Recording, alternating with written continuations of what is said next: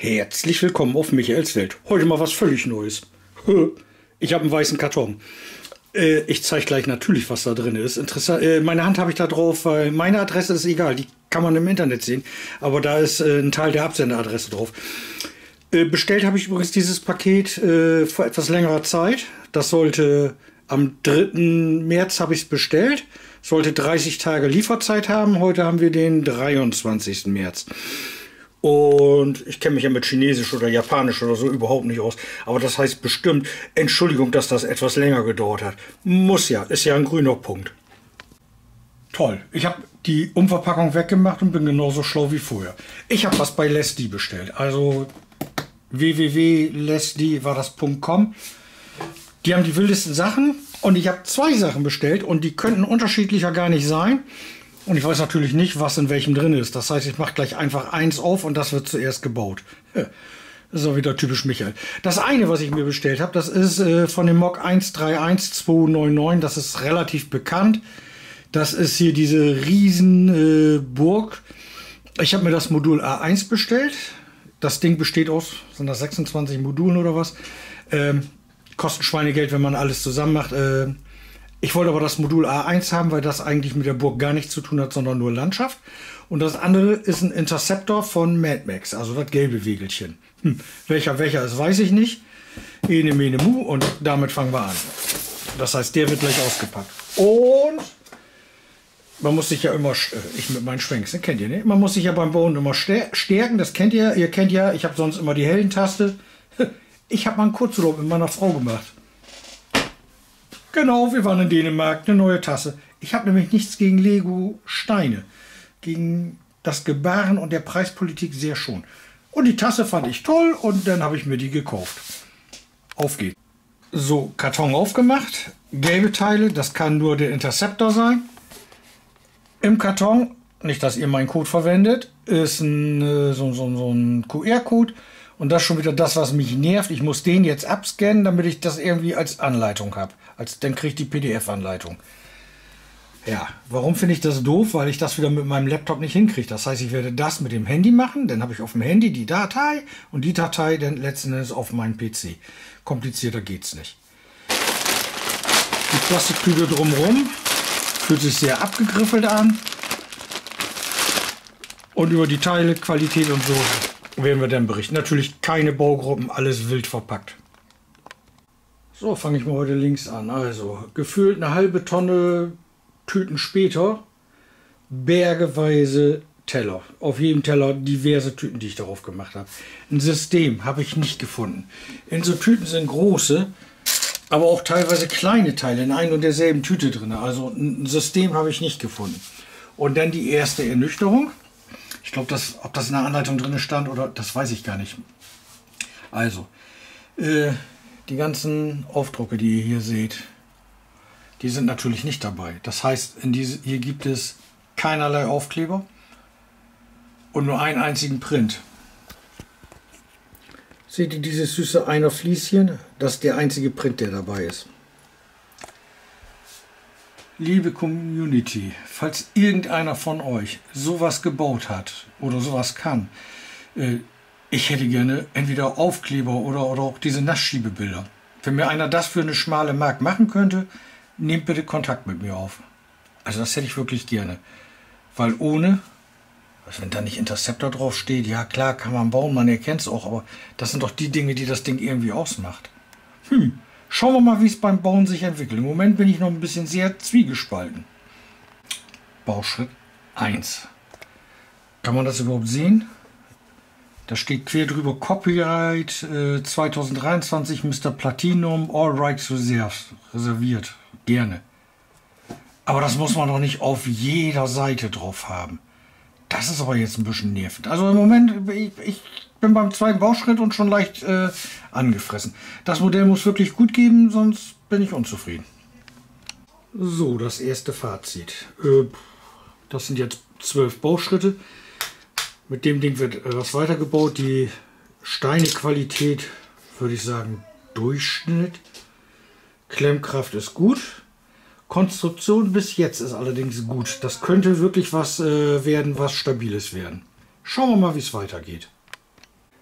Bauschritt 22. Also die Bauweise ist, man baut anscheinend kleinere Module und die baut man dann wieder zusammen. So ist hier die Heckpartie als Modul gebaut worden. Jetzt ist hier die Achsaufhängung als Modul gebaut worden und die kommt da so gleich rein. Das mache ich auch in Ruhe mit, äh, wie gesagt, mit zwei Händen baue ich das wieder zusammen. Die Klemmkraft der Steine ist gut, die Passgenauigkeit der Steine ist gut, aber wenn man sich die anfasst, ich finde die, die Haptik teilweise der Steine ist, ist nennen wir es mal vorsichtig, gewöhnungsbedürftig. Preis hatten wir noch nicht drüber gesprochen, ich glaube 79,95 oder so. Keine Ahnung, kann ich, weiß ich wirklich nicht mehr genau, was ich dafür bezahlt habe. Ist aber äh, ein Mock, also My Own Creation, wird daher eine sehr kleine Auflage sein und so wie das aussieht und so wie das verpackt war, scheint das alles per Hand abgepackt geworden zu sein dann finde ich, geht das in Ordnung. So, Bauschritt 165, mal ein kleiner Zwischenstand. Das müsste die Rückbank sein. Hier sind die Türen wohl nur angedeutet. Reserverad, riesengroß hinten drin. Ja.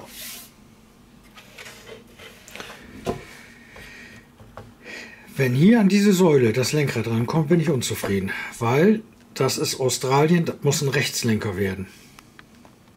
So, tatsächlich ein Linkslenker. Eigentlich ist das aber eine australische Serie und dann müsste das eigentlich ein Rechtslenker sein. Oder bin ich jetzt völlig von der Rolle? Bauschritt 188. Vordersitze sind mittlerweile auch drin. Und der Wagen wird eine funktionierende Lenkung bekommen.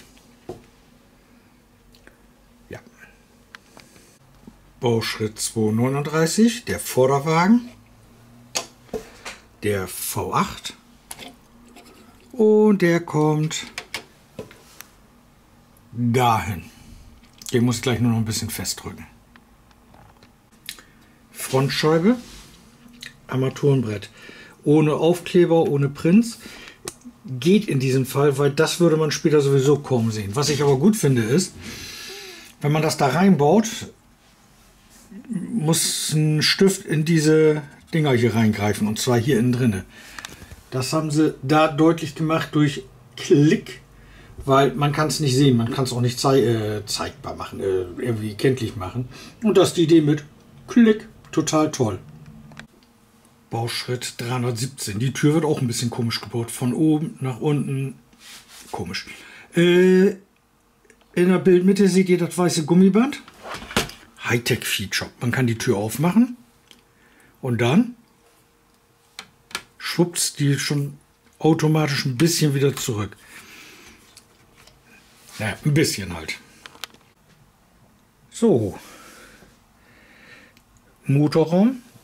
Schön auch hier mit den Farben, die kommen wirklich gut wieder. Und hier wieder ein kühler Frontpartie-Grill. Und der wird jetzt hier mal reingedrückt. Kriege ich natürlich mit einer Hand wieder. Doch, kriege ich hin.